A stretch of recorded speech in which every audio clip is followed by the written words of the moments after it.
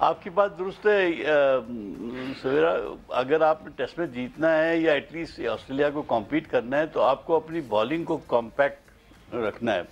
चार बॉलर से काम नहीं चलेगा। यू नीड फाइव बॉलर्स चाहे वो आप स्पिन को स्ट्रेंथ करें चाहे वो फास्ट बॉलिंग को स्ट्रेंथ करें। मगर you definitely need fast bowlers five पाँच आपको बॉलर चाहिए होंगे वरना ये पाँच दिन का टेस्ट मैच जो है वो इतना लंबा चल नहीं सकता। तो ये ज़रूरी है कि अगर हसन फिट हो गए तो इज़ अ ग्रेट बहुत एफर्ट्स करने वाले बॉलर हैं बहुत मेहनती बॉलर हैं और और लंबा स्पेल करते हैं। आई थिंक अगर वो खेल सकते हैं तो ज़रूर खेलना खिलाना चाहिए उनको। और जो स्पिन डिपार्टमेंट है मैं समझता हूँ कि उसको अभी आपका नौमान तो मुझे बेहतर लगा है कि वो उसको अब आउट करते करते आइडिया भी हो रहा है आहिस्ता आहिस्ता वो बेहतर बॉलिंग कर रहा है। मगर साजिद से मैं तो करता हूँ कि वो स्टम्प्स के अंदर गेंदें करें ज़्यादा एक्सपेरिमेंट नहीं करें और ज़्यादा विकटें लेने की कोशिश नहीं करें।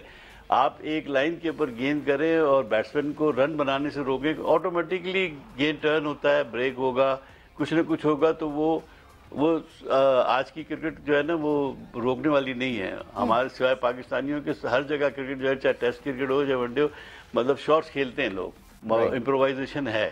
तो वो उसमें चांस होता है आपको आउट करने का। तो इस लिहाज से मैं समझता हूँ कि अगर पाँच बॉलर के साथ जाएँ तो आपको फ़ायदा होगा।